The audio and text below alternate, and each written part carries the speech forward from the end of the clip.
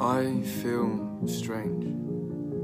This means I don't feel like me. Me. What is me? What am I?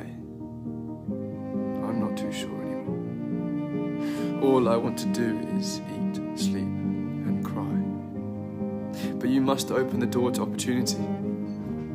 For life is a cruel construct created for you to experience. Just for you. So be grateful. Enjoy the small things. Smile more. Laugh more. Cry more. Do more. See more. Love more. Move more. Lose more. Hurt more. Walk more. Talk more. Just be more. Until it's too much. Then you'll know true and honest love. For life knows no threshold to pain. Must meet it.